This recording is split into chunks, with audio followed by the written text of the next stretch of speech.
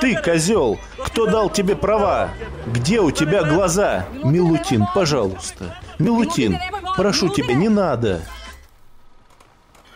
Сын, мне это не нравится, но, к сожалению, людей надо иногда воспитывать. Они ничего не понимают, кроме палки.